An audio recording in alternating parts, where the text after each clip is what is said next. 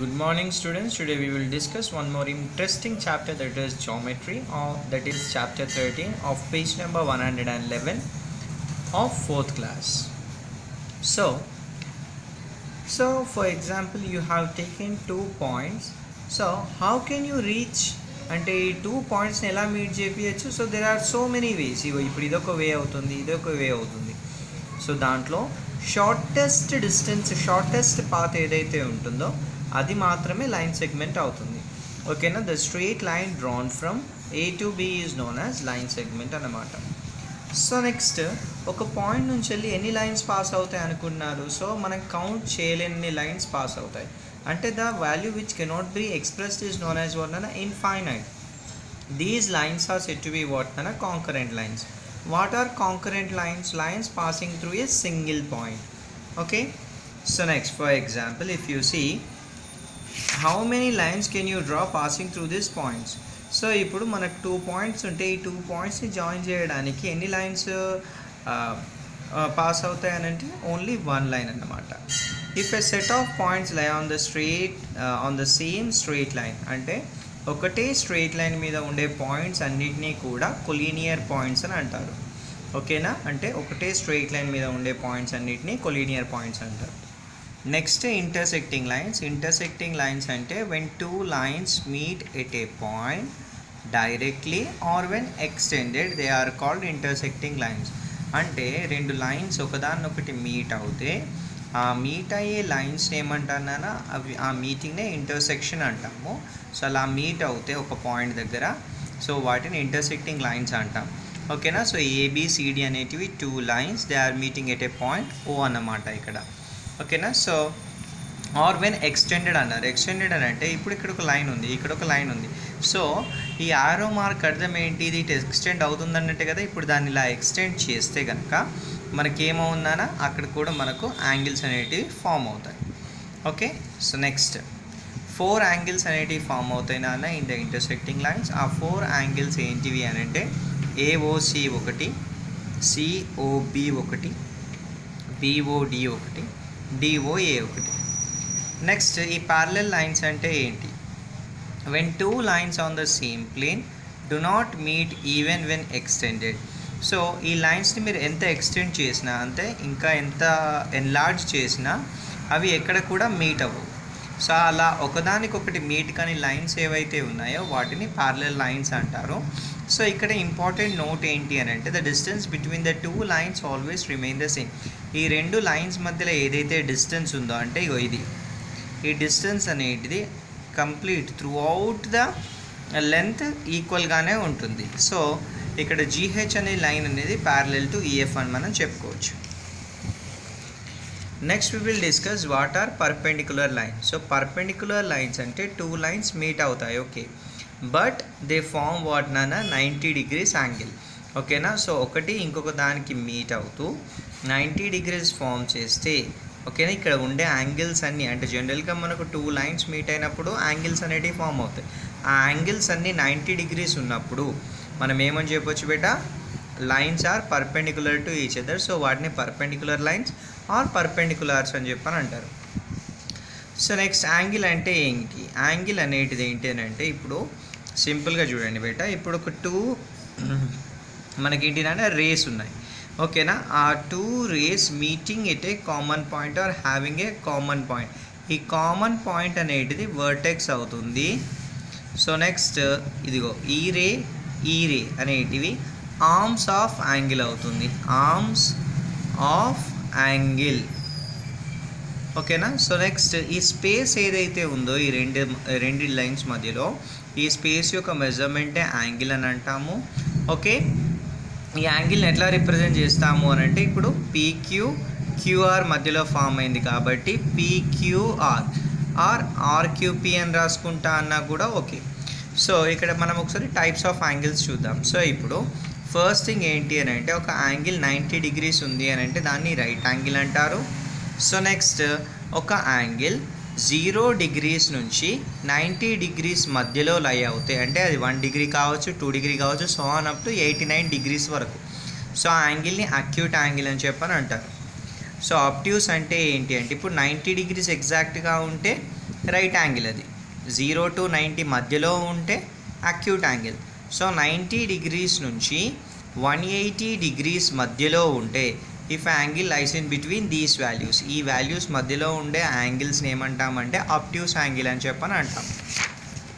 Next straight angle అంటే ఏంటి అంటే ఎగ్జాక్ట్గా one hundred and eighty degrees ఉంటుంది. సో ఎగ్జాక్ట్గా one hundred and eighty degrees ఉండే యాంగిల్ని స్ట్రైట్ యాంగిల్ అంటాము. సో నెక్స్ట్ వన్ ఎయిటీ నుంచి వెళ్ళి త్రీ సిక్స్టీ మధ్యలో లై అయ్యే యాంగిల్ని అంటే వన్ ఎయిటీ వన్ నుంచి వెళ్ళి త్రీ ఫిఫ్టీ నైన్ వరకు. One eighty one one eighty two one eighty three one eighty four అవన్నీ కూడా రిఫ్లెక్స్ యాంగిల్స్ కిందకే వస్తాయి. సో కంప్లీట్ యాంగిల్ అంటే ఏంటి అంటే కంప్లీట్ యాంగిల్ అనేటిది three hundred and sixty degrees అన్నమాట. So using a protractor so ఈ ప్రొట్రాక్టర్ని ఎలా యూజ్ చేయాలి ఎలా డ్రా చేయాలి అనేటిది మీకు నేను ఆల్రెడీ ఎక్సర్సైజ్లో ఎక్స్ప్లెయిన్ చేస్తాను. So no need to discuss all the steps ఒకసారి చదువుకుంటే చదువుకోండి ఓకే? రైట్ సో ఫస్ట్ ఇక్కడ మనకు ఫస్ట్ ఎక్సర్సైజ్ అయితే ఉంది స్టూడెంట్స్ సో ఈ ఎక్సర్సైజ్ ఏంటి అంటే measure the given angles and write the measure and type of angle అన్నారు. సో దీనికి మనకి ఏం కావాలి అని అంటే మనకు ప్రొట్రాక్టర్ అనేటిది కావాలి students so this device is known as what నా ప్రొట్రాక్టర్ సో దీన్ని ఎలా యూజ్ చేయాలి అని అంటే ఈ లైన్స్ మీట్ అయ్యే వీటికి వర్టెక్స్ ఉంది చెప్పాను. ఇంతకు ముందు నేను వర్టెక్స్ అంటే ఏంటంటే ఇవి రెండు మీట్ అయ్యే పాయింట్ ఏదైతే ఉందో ఆ పాయింట్ దగ్గర ఇక్కడ చూడండి. ఆ పాయింట్ దగ్గర ఇగో ఇగో ఈ పాయింట్. ఓకేనా? సో ఈ పాయింట్ని ఇగో అక్కడ పెట్టేయాలి. సో పెట్టేసిన తర్వాత నెక్స్ట్ థింగ్ ఏంటి అని అంటే ఈ బేస్ ఇగో ఈ లైన్ కనబడుతుంది కదా మీకు? ఈ లైన్ అనేటిది ఒక ఆర్మ్ ఆఫ్ ద ట్రాంగ్ ఒక ఆర్మ్ ఆఫ్ ద యాంగిల్తోని కోయిన్సైడ్ అయిపోవాలి. సో ఇప్పుడు చూడండి. So actually it is difficult to hold a phone and tell this values so ఇప్పుడు మీరు చూసినట్టయితే ఇక్కడ చూడండి జీరో మీరు ఈ స్కేల్ యూజ్ చేసేటప్పుడు ఒకటి గుర్తుపెట్టుకోండి. ఈ బేస్ అనేటిది ఎప్పుడు జీరోని పాయింట్ చేస్తూ ఉండాలి. సో ఇక్కడ జీరోని పాయింట్ చేస్తుంది కదా. సో చూడండి.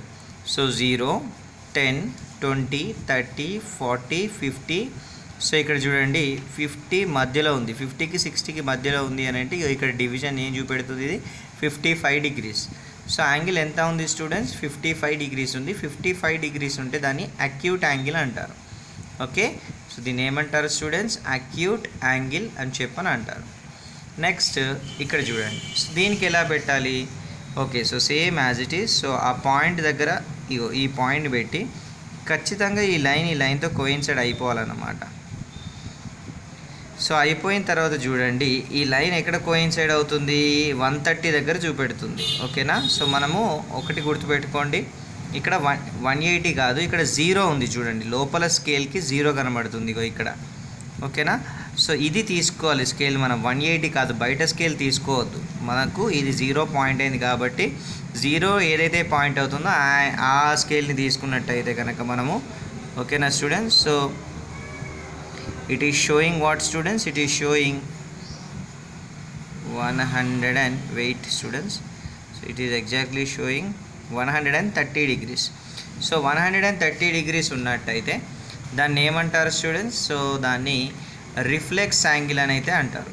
సారీ రిఫ్లెక్స్ యాంగిల్ కాదు students so it is obtuse angle ఎందుకంటే నైంటీ డిగ్రీస్ నుంచి వెళ్ళి వన్ ఎయిటీ మధ్యలో లై అయితే ఆ యాంగిల్ ఏమంటారు? అప్ట్యూస్ యాంగిల్ అని అంటారు. సో ఒకటి గుర్తుపెట్టుకోండి ఎప్పుడైనా మీకు ఎల్ షేప్లో ఉంటే హండ్రెడ్ పర్సెంట్ అది నైంటీ డిగ్రీస్ ఉంటుంది స్టూడెంట్స్ ఇది గుర్తుపెట్టుకోవాలి నైంటీ డిగ్రీస్ ఉంటే దాన్ని రైట్ యాంగిల్ అంటారు. ఓకే? సో నెక్స్ట్ ఇక్కడ చూడండి ఇది ఒక స్ట్రేట్ లైన్ స్ట్రేట్ లైన్ మీద ఎంత యాంగిల్ ఉంటుందని డిస్కస్ చేసుకున్నాం మనము? One eighty degrees so one eighty degrees ఉంటే దాన్ని స్ట్రైట్ యాంగిల్ అంటారు. ఏమంటారు? స్ట్రైట్ యాంగిల్ అంటారు.